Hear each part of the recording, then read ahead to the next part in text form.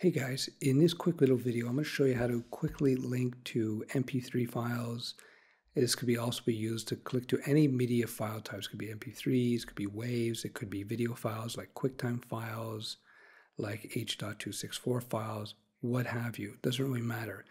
This is not for playing in your web browser, but it just gives a quick way for people to be able to watch the content you want to send to them.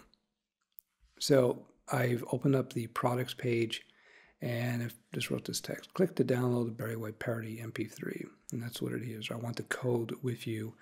So um, we actually did this internally here at Killersites, but it decided, you know, I can't play it because, you know, copyright issues. Anyway, so if you go down into the properties bar here and you got, make sure you got the HTML selected and uh, just click this link wheel, click and hold, see I'm holding, and use this mouse over the file you want to link to. In this case, I want to code with you. Just let go, and you see that Dreamweaver automatically creates our link for us. So I'm going to control and save this page. And uh, you know, I want to preview this in a browser, but just in case you haven't set up browser preview, Dreamweaver has this great feature where if you just hit the F12 key, the default browser will appear with this page. Now, you say to yourself, well, why do you have to do it? You can see it here in Design View.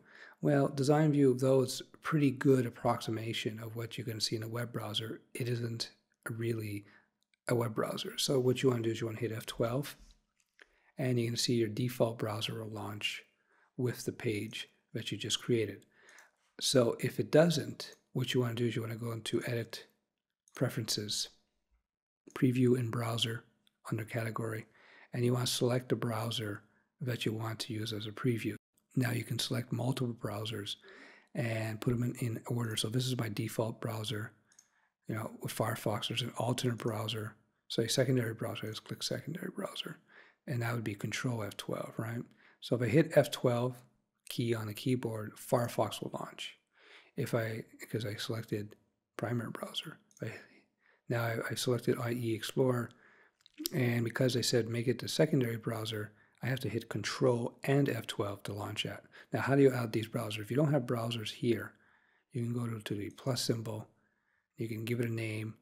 So I'm going to call it um, you know, Google Chrome. So assume I had Chrome installed on this. So I have to go to my program files. I would have to find the browser's executable file and then select that. So if I go into, uh, where would that be? Internet Explorer. See, if it was Internet Explorer again, I just select this, hit open, and I would tell primary, secondary, whatever I want, and I hit OK, and it would appear in this list. So that's how you do it. If you want to add a default browser, if you hit F12 and your browser doesn't pop up, then you just go in here and you can set this up for yourself. So let's go back into that browser preview, and here it is. So I've linked to the MP3 file. So I'm just going to click it, and you can see in Windows, this dialog box is going to pop up and it's going to ask you, do you want to open it with your default media player? And a lot of people just go, okay, and the media player will launch and the MP3 file will begin to play.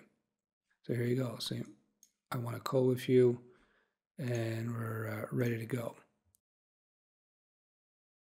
The other option, if somebody clicks, they can actually save the file to disk and then listen to it uh, anytime they want. Again, this is uh, not necessarily the most elegant way, but other times it's very useful. Sometimes people, if you're uh, distributing your podcast, it's just easier for everybody concerned, not just you, but your uh, web visitors, to just link to your MP3 file and then they can just download it themselves. You know, you don't necessarily need to have a in-window audio or video player. And as I said before, this works just as easily with movie or video files as it does with MP3 files.